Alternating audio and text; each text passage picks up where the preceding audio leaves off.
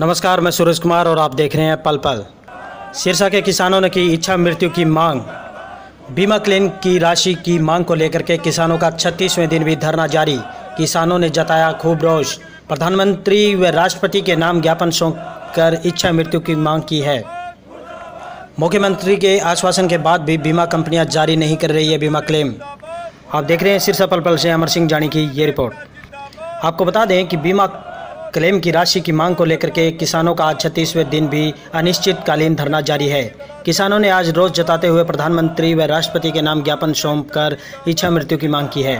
किसानों का आरोप है कि मुख्यमंत्री के आश्वासन के बाद भी बीमा कंपनियाँ मनमानी कर रही है। उन्हें बीमा क्लेम की राशि अभी जारी नहीं हुई है। धरना से रोष मार्च करते हुए किसान लघु सचिवालय के समक्ष पहुंचकर तहसीलदार को ज्ञापन सौंपा। वहीं किसान नेता व अखिल भारतीय संघर्ष समिति के प्रदेश अध्यक्ष विकल्प चार ने बताया कि किसान लगातार बीमा क्लेम की राशि की मांग को लेकर के छत्तीसवें दिन धरने पर बैठे हैं, लेकिन सरकार उनकी सुध नहीं ले रही है। उन्होंने कहा कि मुख्यमंत्री डबावाली दौरे के दौरान आश्वासन दिया था कि 10 दिन के अंदर अंदर उनकी समस्या का हल हो जाएगा, लेकिन आज तक बीमा क्लेम की सिरसा जिला की करीब 180 करोड़ रुपए की राशि खेतों में जारी नहीं की गई है।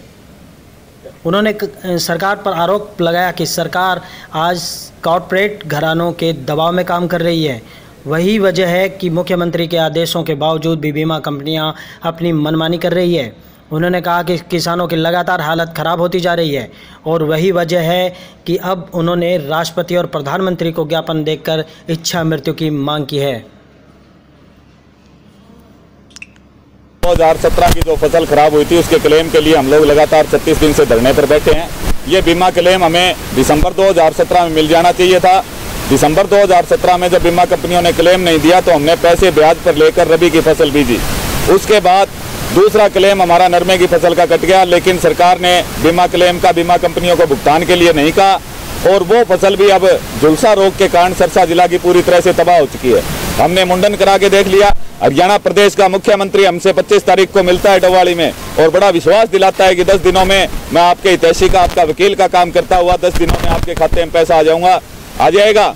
लेकिन पहली बार देश के इतिहास में हमने ऐसी सरकार देखी जिसके प्रदेश के मुखिया के निर्देश के बावजूद भी बीमा कंपनियाँ किसानों को बीमा क्लेम का पैसा नहीं दे रही है, यानी कि देश और प्रदेश के ऊपर सरकारें राज नहीं कर रही है, कॉरपोरेट घराने राज कर रहे हैं और जो बीमा का 180 करोड़ रुपए हमारा हक था जो हमें साल पहले मिलना चाहिए था, वो अब तक मिला नहीं। तो ये निश्चित तौर पर है, आज हमने हरियाणा प्रदेश और केंद्र सरकार से उम्मीदें बिल्कुल खत्म करते हुए ज़िले हिसार और सरसा और भिवानी के किसानों ने इच्छा मृत्यु का ज्ञापन राष्ट्रपति जी के नाम सौंपने का फैसला किया है कि आप हमें जब अगर बीमा क्लेम नहीं दे सकते, किसानों की हालात पिछले सत्तर सालों से नहीं सुधार सकते तो कम से कम हमें मरने की इजाज़त दे दी जाए। ताकि यदि हमारे में से कोई साथी जो लगातार आत्महत्या पिछले कई वर्षों से बढ़ती जा रही है, मरे तो उसके परिवार वालों के ये पुलिस के साथी आत्महत्या का केस बनाकर तंग ना करे।